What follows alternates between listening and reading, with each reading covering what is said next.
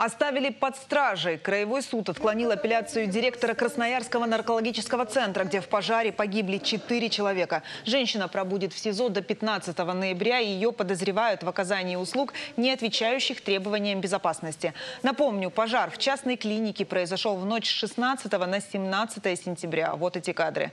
По главной версии следствия, огонь развел один из пациентов. Это подтверждает и видео с камеры наблюдения. Мужчина подпалил штору, затем пламя перекинулось на постель и через мгновение горела уже вся комната. Четверо пациентов выбраться не смогли. Директора и предполагаемого поджигателя арестовали. Адвокаты с решением суда не согласны, будут обжаловать его и дальше.